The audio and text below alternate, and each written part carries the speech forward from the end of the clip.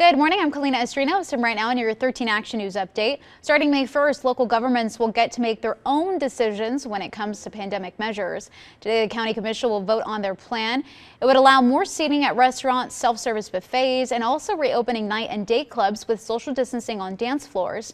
Now, if approved, this plan would go to Governor Steve Sisolak's office for approval. Today, jurors will begin their second day of deliberations in the Derek Chauvin murder trial that remains sequestered until they reach a verdict. Now, here in Las Vegas, businesses are now preparing for unrest regardless of the outcome. Metro Police sent out a statement saying it'll be ready to respond to any potential protests in the valley.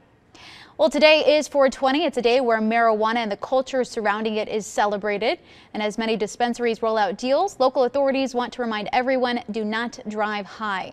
NHP says if you're caught driving under the influence of a substance, you can be arrested and fined up to $10,000. So be sure to designate a driver or use rideshare services if you plan to indulge in 420 activities.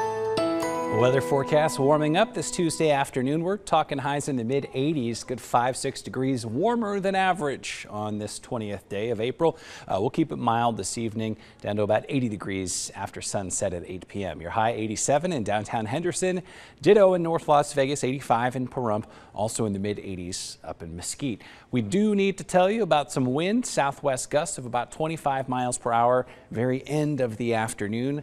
Breezy this evening and tonight, still breezy on Wednesday. And Wednesday, we actually expect temperatures to drop off to the upper 70s. Still in the upper 70s Thursday. Kalina will try to enjoy Thursday as it should be fairly calm.